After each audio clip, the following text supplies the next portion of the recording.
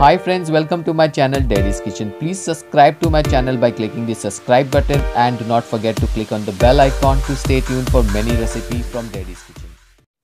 Hello friends आज की recipe है पनीर की सब्ज़ी यस फ्रेंड पनीर की सब्ज़ी रेसिपी बहुत ही यम्मी डिलीशियस और सबको पसंद आने वाली रेसिपी है इसे बनाने के लिए सबसे पहले मैंने यहाँ पे लिया एक मिक्सी जार जिसमें मैंने ऐड किया है दो रफली कट टमाटो एक रफली कट प्याज और इसके साथ मैंने इसमें ऐड किया one medium size ginger eight to nine pieces of garlic और अब मैं इसका एक फाइन पेस्ट बना लूँगा इस तरह से।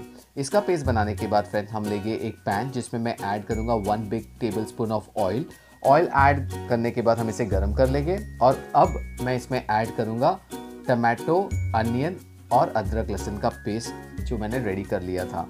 इसे मैं सौते कर लूँगा एक से दो मिनट तक। और सौते होने के बाद मैं इसमें ऐड करूँगा half teaspoon of turmeric powder one teaspoon of Kashmiri red chilli powder one teaspoon of kitchen king masala powder and one teaspoon of coriander powder इसे हम ऐड कर लेंगे और इसे अच्छे से मिक्स करने के बाद हम इसे कुक करेंगे एक से दो मिनट तक।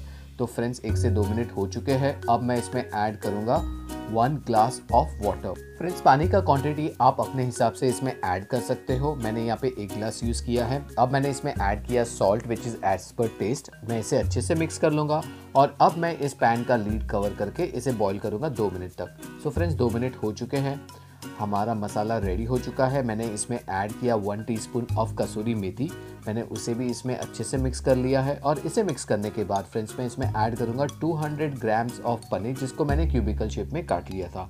सो फ्रेंड्स फाइनली हमारी पनीर की सब्ज़ी रेडी हो चुकी है। मैं इसे कवर करके कुक करूँगा दो मिनट के लिए और फिर मैं इसे ट्रांसफ़र कर लूँगा एक सर्विंग डिश में।